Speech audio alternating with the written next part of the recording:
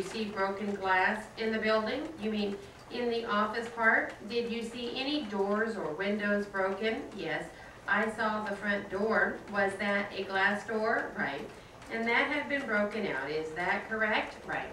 Actually, the bottom part was broken. Would you indicate again for me which door that was on the diagram? It would be the door to the lobby right here. Why don't you put a D indicating that on the diagram where the door was? Now, Mr. Bland, the room that you have marked front office, were there any lights on in that room? No. Is that the door where you indicate that you observed the defendant originally behind? Yes. And you were standing out in the hallway? Yes. What sort of lighting is there in the hallway? Two hallway lights, a hundred watt bulb, I guess. Where was the defendant? It's right now. Which way does the door open? Does it open as you have indicated on there with the line this way against the left side of the front office wall? Right. In other words, I will uh, swing my hand inward toward the left side of the front office wall. Is that the way the door opens? Yes. Did the jurors see that? Where was the defendant standing? Directly behind the doorway? Yes. And you say he came out? Uh-huh. And you had a conversation with him that lasted no more than 60 seconds? I said roughly 60, maybe two minutes at the most. I really can't recall. Did you have a flashlight, Mr. Bland? No, there is one in the plant, though. There is one in the plant? Yes. And the defendant was, you say, standing right where you marked the small X. Is that correct? Yes. Mr. Bland, are you quite certain that for some reason or another you didn't need some money on that occasion and start to commit a burglary and then decide against it? No, sir. I have no further questions. Now, Mr. Bland, when you came out and saw the shadow in the doorway of the front office, is that correct, sir? Yes. Was that door closed or open at that time? it was three quarters of the way closed. And whereabouts was the shadow? Well, right in front of the door. If you want to put it on the diagram, you can. I really can't because it just moved. The shadow moved in front of me. Like if I was walking through a dark room with a light on me, I would see a shadow. It just moved, so I really can't say. And the shadow moved across the open part of the doorway, right. Showing you page 14 of the transcript and calling your attention to lines 5 and 6. Would you read those, please? Read it out loud? No.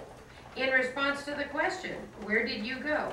Did you give this answer? Well, I went down to take care of the water softener and I came back and I called the day foreman. Is that what you testified to at the preliminary hearing? I think so. I can't recall. Now, despite whatever you testified to at the preliminary hearing, what is your best recollection today as to where you went after you talked to the girls? I went to the outside of the plant to the soft water.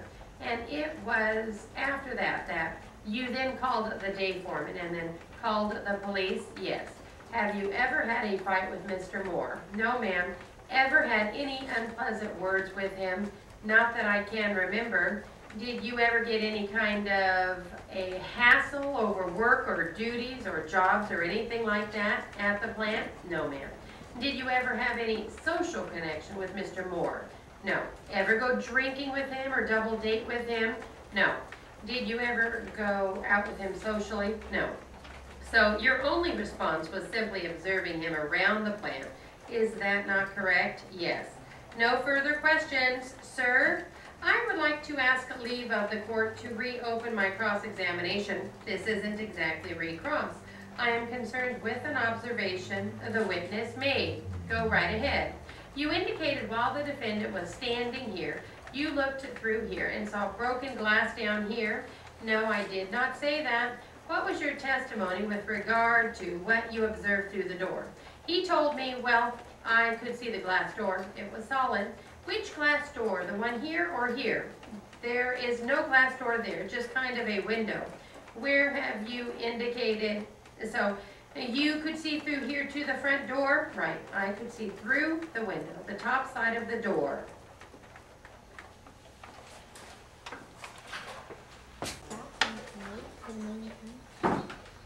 Twelve minutes straight. This is the Betty Broderick one.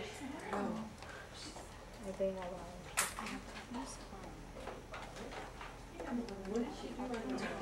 She killed her husband. And his wife. Yeah. Oh, yeah. Remember? Verdi Baxter? Yes. Yeah. Birney. Oh. oh, She's not Yeah. married anymore. something like that, Baxter Birney, something like that. What about, what about hers? She played the role on TV. Oh, that's right. She was the mother and family guy. Okay, here we go, twelve minutes straight. We are starting off with the court and going into direct examination by plaintiff's attorney.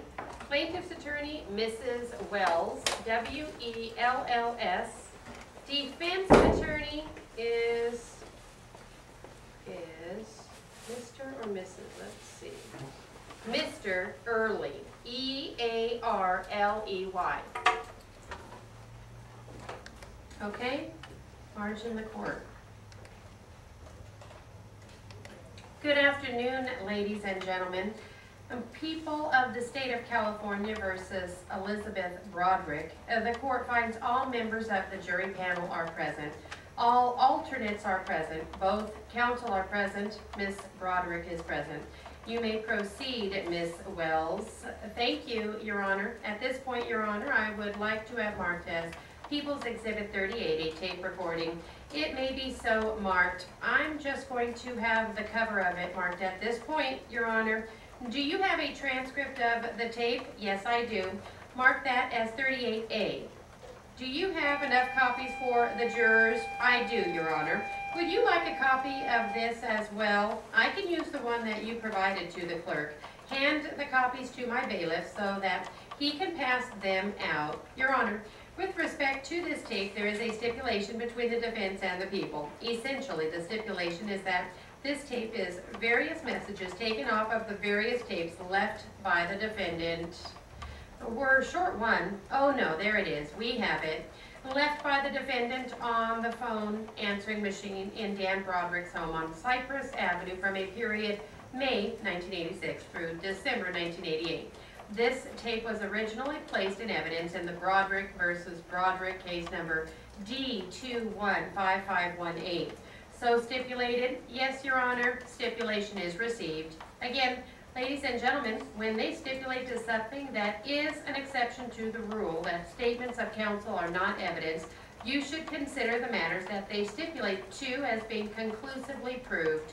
Do you have a copy of the transcript for Mr. Early? Yes, I provided one to him, Your Honor. May I play the tape at this point? Yes, will you both stipulate for the record, my reporter does not have to transcribe the tape. Since we have a transcription, so stipulate, so stipulated. Thank you, Your Honor. Did you want the transcript picked up? Yes, call your next witness. People called Kim Broderick. You do solemnly swear that the testimony you are about to give in the matter now pending before this court shall be the truth, the whole truth, and nothing but the truth. So help you God? I do. Could you please have a seat? Good morning, ma'am. Make yourself as comfortable as you can there. Take your time. Could you please state your full name for the record and spell your last name? Kimberly Curtin Broderick, B-R-O-D-E-R-I-C-K. Good afternoon, Miss Broderick. Hi, you are the daughter of the defendant, Elizabeth Broderick? Yes. Was Dan Broderick your father? Yes. Could you tell us how old you are? 20. And do you have any brothers or sisters? Three. Can you tell us what their names are and how old they are? Lee Broderick, she's 19. Danny Broderick is 14. Rhett Broderick is 11. Where are Danny and Rhett right now? Where do they live? Colorado. Who are they living with? My Aunt Kathy. Where are you presently living? Here. In San Diego? Yes. I want to start off, Ms. Broderick, talking to you about the morning of November the 5th of 1989. Where were you on that morning in Arizona? Can you tell us what you were doing in Arizona? My appendix ruptured my freshman year. I missed all my final exams. I was going back to finish them for a week. It took longer than a week. I was there a week. Tucson, Arizona? Yes. You were basically there for school? Right. Now, were you a student at the University of San Diego? Not then, the year before I was. Where were you staying in November of 1989? My friend's apartment. Okay. Do you recall receiving a call that morning, November the 5th? Yes. Can you tell us what you were doing when you got the phone call? Sitting, looking through a magazine. Do you recall about what time that it was? It was about eight o'clock there, so it would have been seven o'clock here. You say eight o'clock there. In Arizona? Right. So it would have been seven o'clock here. There is an hour's time difference, certain times of the year. Okay. Who was the call from that you received? My sister. Your sister Lee? Uh-huh, yes. Could you tell us what she said? She said, Mom's here, she shot Dad, she wants to talk to you. And then she gave the phone to Mom.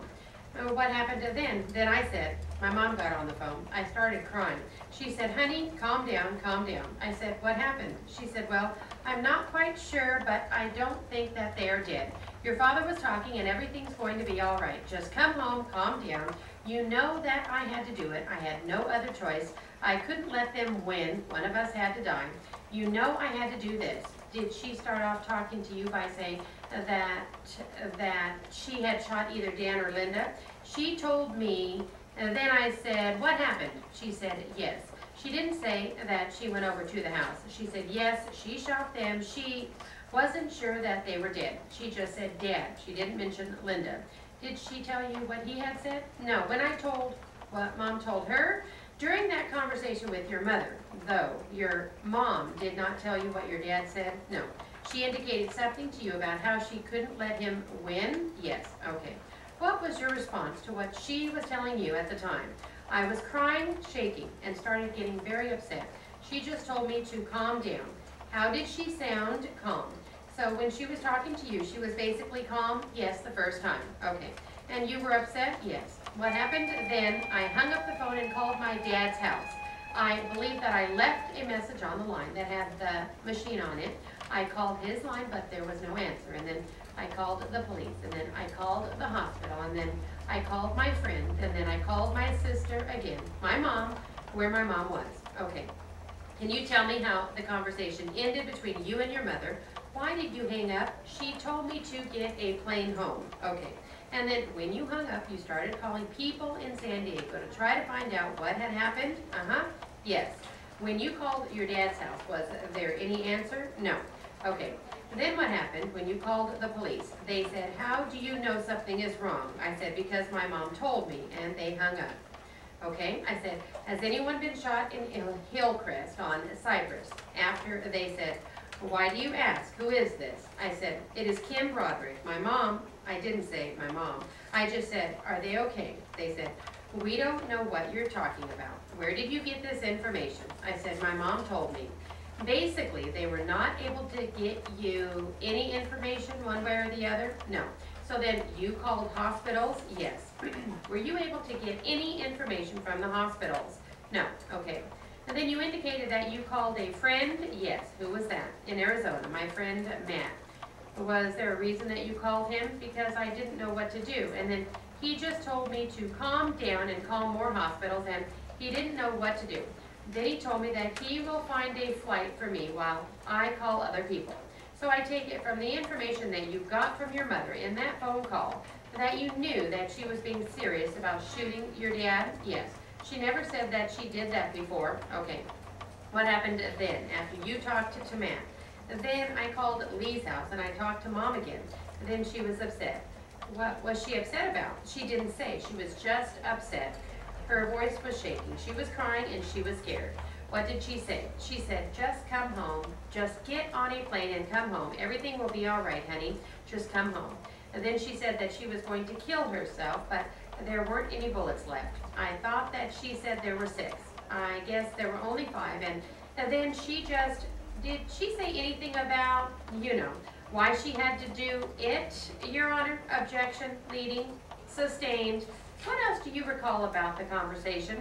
She just said that she had to do it. I know why. I guess uh, that I should know why. I'm sorry, I didn't. I think it was just presupposed that I knew why. She didn't say why. And she just told you that I had to do it. I had no choice. It was either him or myself, and I couldn't let him win, and that's it. Did she tell you not to talk to anybody? Yes. Okay. What did she say about that? She said, don't call anybody. I don't know what I'm going to do yet. Just come home. But it was too late. I already talked to people, but she didn't know that. She told you not to call anybody, but you had already called the police and hospitals. You didn't tell her that? No. What happened then? Anything else in that conversation? Then she left Lee's house, I guess, because she wasn't there anymore. I tried to call later, but no, nothing else happened. Were you able to get a flight home to San Diego? I missed about three of them, but finally, about eight o'clock at night. You finally got into San Diego later that night. Is that a yes? Yes. Did you have any conversation with your mother later that night? No. When was the next time that you spoke to her? I believe November 9th. Okay. Do you recall what the circumstances were? Her attorney, I don't remember his name, said that he could call her, she could call him back. So he said that she wanted to talk to me. I went down there and he called her. Then she called me back. Then we went into a room and I talked to her. Okay. Where did you go in order to talk to your mother? The attorney's office. Office. Was that at his request? He had basically contacted you and asked you to come down there. He didn't personally contact me. My aunt contacted me. He didn't say, you have to come down here. He just said, your mom wants to talk to you. Will you come down here? So I went. Do you want to come down here? Basically. You were contacted and the request was that your mother wanted to talk to you. Would you please come down to do that? Is that correct? Yes, okay. When you went down to his office, and then, did you have a phone conversation with your mother? Yes. And this was after she was already in jail, is that correct? Yes. Can you tell me what she said in that conversation? Your Honor, objection, irrelevant, sustained. I would like to be heard at sidebar, all right, offer of proof, go ahead. Basically, the conversation again had to do with why she did what she did. She indicated that he was running my life and that she was either going to die or he was, and that Kim should know why it was that she did it. I think that any statements that she made about why she did what she did was relevant. Shows intent to kill versus accident or sudden panic because she said, or someone said, call the police. So I think it would be admissible. It was a long conversation. There was a lot of other things talked about. If she is just going to say what was said, there is a lot of other things that were said that she can ask her. Ask her if in the conversation about the shooting and asked you about the shooting, why she did the shooting along those lines. Okay, go ahead. In that conversation that you had with her when you were at the attorney's office, did she say anything to you about the shootings? Yes. What did she say? She then told me that dad had said when he was shot, okay, you shot me, I'm dead. But she said that it was dark and she couldn't see. And she made the statement that he had said, okay, you shot me, I'm dead? Yes, okay. Did she say anything else about anything that he had said? No. What else did she say about why she had done it? She didn't say why, she just said, you know why, and I need your support. And he was making me miserable. I couldn't stand the way to see how he was treating you, and I couldn't go on living like this. And then she was talking about the apartment in Arizona. That's about it when she said that she couldn't stand the way that he was treating you. What was she talking about? That, I don't know. Did it have anything to do with the apartment in Arizona or was it something else? The apartment in Arizona and other things. Did she describe them specifically or just make the statement that she couldn't stand the way that he was treating you? She brought up the apartment in Arizona. What did she say about it? That he wasn't giving me money, I was suffering at school. I don't know what she said exactly about it at that conversation. She just said that she couldn't bear to see the way that he was treating me when he was going on vacations. I had no money to live. Did she say anything about that either she was going to have to die or he was? Your Honor, objection, leading. Sustained. If I could have just a moment, Your Honor, certainly.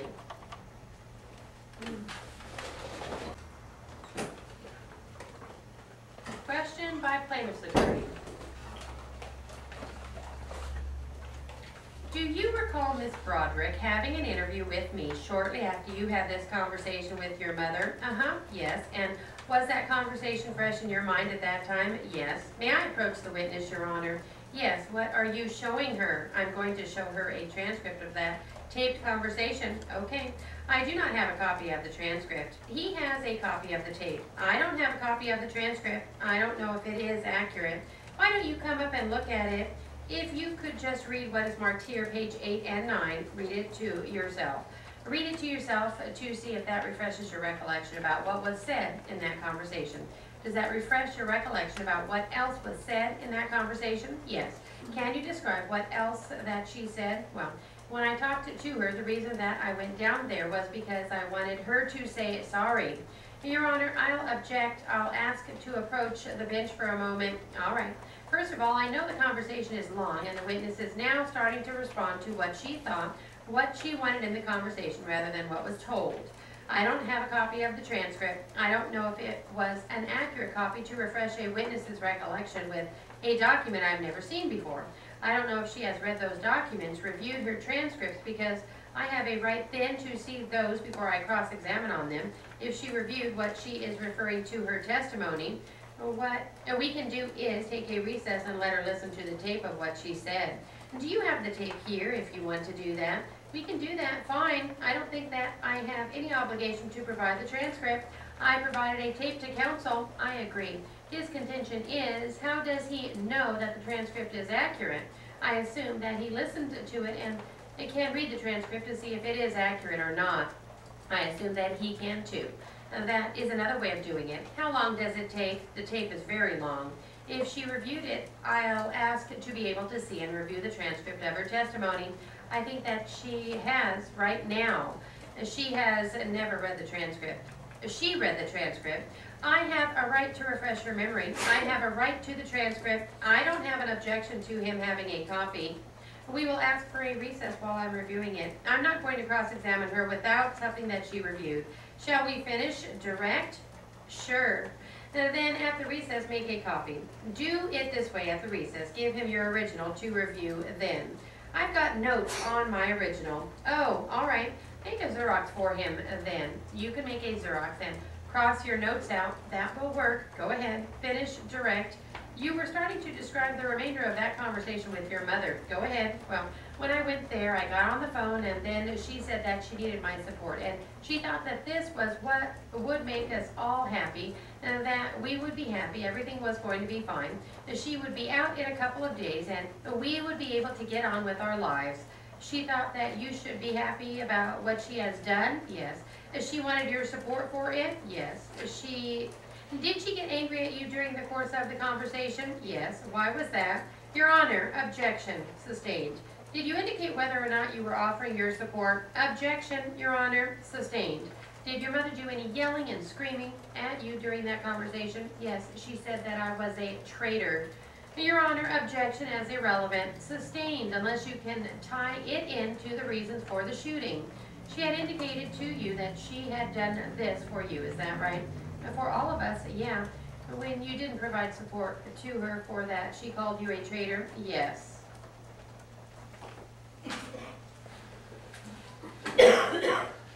M-A-R-I-N.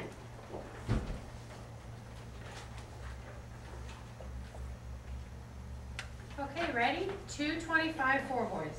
Cross by defense. You indicated while the defendant was standing here, you looked through here and saw broken glass down here? No, I did not say that. What was your testimony with regard to what you observed through the door? He told me, well, I could see the glass door. It was solid. Which glass door? The one here or here? There is no glass door there, just kind of a window where you have indicated. So you could see through here to the front door, right. I could see through the window, the top side of the door. And what did you see? It was fine. The window was fine. No further questions. You could not see then down the bottom part of the handle of that door? No, ma'am. From the area inside the hallway and offices is the wall that separates the offices from a factory, a wall that cuts down a lot of the noise from the machines? Yes. The machines are very noisy? Yes. Did you recognize the defendant's voice? Yes. You had talked to him in the past? Yes. No further questions? No questions. Well, how frequently would you see the defendant when you were working together and he was in one building and you were in the other? Well, we used the same forklift and stuff. You used the same forklift? Right. And so he would come over and pick it up maybe two or three times a day, sometimes in the evenings, and then you would go over there and get it back again? Right. And each of you was the one that ran the forklift. You and the defendant? Well, no. Practically everybody in the plant runs the forklift. I see. Did the people in that plant, or what is referred to the other plant, and the people from the plant where you worked all drink coffee together, or go out to the catering truck together occasionally, but your primary connection with the defendant in the course of your employment, right. And uh, that was two or three times a day, maybe? Well, sometimes more than that. I see. All right, very well. Thank you. You may step down. The witness may be excused. No objection. No objection, Your Honor. All right. You are excused. Uh, Your Honor, we have other witnesses ordered at 10:45. May we take a 10-minute break? Sure. Be delighted to. Let's stretch a little bit. Come back in about 10 minutes. Call your next witness, Miss Grove. Mrs. Studer, please raise your right hand, please. You do solemnly swear that the testimony you may give in the cause now pending before this court shall be the truth, the whole truth, and nothing but the truth. So help you God? I do. Be seated, state your name, and spell the last name, please. Kathleen Studer, S-T-U-D-E-R. Mrs. Studer, were you employed at Plasmet Engineering on May 12, 1972? Yes. And what is your function at the plant? Office manager. And whereabouts in that plant do you work as far as location? In the front of the building. Now showing you the diagram to the side there, marked Peoples 1, is your office in the office, which would be called front office on the diagram? Yes. Did you have a desk there? Yes. And what hours did you work on May 12? From about 8 to probably 5.36. Now, on that day, did you see the defendant, in this case, Mr. Moore? Yes. About what time was that? It was around 4. And do you know his purpose for being in the plant at that time? To the best of my knowledge, he had come by to see Bob Job, and in the process, he had stopped by just to say hello to me. And were you working in the front office at this time that he stopped by to say hello? Yes, sir, yes. And where did Mr. Moore come in the building? Well, you come in the front door, and where you see the two lines there, that is an open window which is up high, and you talk in there. And I am on the other side at a desk. Now, was the day foreman present during this time? Yes, he walked in during our conversation. So that was the conversation between Mr. Moore and you? Yes, between Dan and I. And your day foreman is Mr. Marin, is that not correct? Right. Did Mr. Marin do anything in your front office while Mr. Moore was there? Well, he handed me a roll of money. Approximately how much money? I have no idea. I never counted it. I didn't have it in my hand but a few minutes and I put it right in my petty cash. How big a roll was that? About like that. What kind of money, ma'am? Currency or pennies or what? No, currency, bills. But where did you put that money? Into my petty cash box. What kind of a box is that? Just one of those dime store petty cash boxes. A little metal box, gray metal, yes. Was Mr. Moore there at the time that Mr. Marin handed you that money and you put it in the box? Yes, he was. He was standing at the window looking in at me and behind me. George came in with the money and handed it to me. Where do you usually keep your petty cash box? During the day, I keep it in the desk, but I didn't always keep